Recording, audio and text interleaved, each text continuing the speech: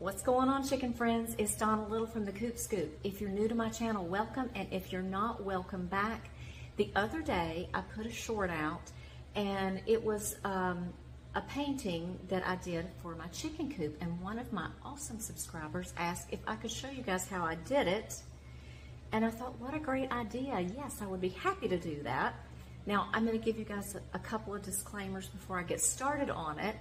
First of all, this isn't an original idea. I came across this years ago on um, online somewhere, and it was just one of those sort of tutorial pages showing you how to do easy uh, paintings of chickens. And they had several different styles, and I chose this one because I thought it was adorable. And I did um, one with watercolors, and it's in my chicken coop. And then I just did the one from the other day, um, and I did it on a piece of plexiglass and it is done with acrylic paint. Now, I'm not a painter. I don't know much of anything about painting. So if you want to watch this because you are hoping to pick up some fantastic tips or techniques, I am not your girl. I don't really know what I'm doing, but I can copy something easy. So that is what I've done. Um, it is super easy to do this. I, what I'm going to do for the sake of time is probably just speed the video up because it'll probably take me about 30 minutes to do this. Um, and I'll just, you'll, you'll still get the gist of how I did it. Uh, also, I do not have good materials or tools to do this with. I have a set of paintbrushes that I've probably had seven or eight years that I bought at Walmart. So you can, you can get the idea that they are not quality. Uh, I also, because I don't do paintings, I am a little artsy. I do charcoal sketches. I don't have the proper paper. Um, this is, I don't know how well it's going to hold up when it gets wet. I would need um, like canvas paper to really do a good painting. So this is, uh, I'm going to do it on this paper and it's probably going to get a little warpy. I don't know. But um, I do charcoal sketches like this. Um, I did this one from a picture uh, that somebody took of my son on his boat and I gave it to him as a gift. And then I did this picture um, of my sister's adorable dog who has since passed away. It was the love of her life.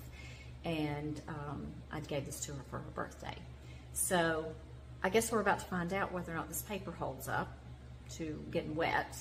But uh, let's get started.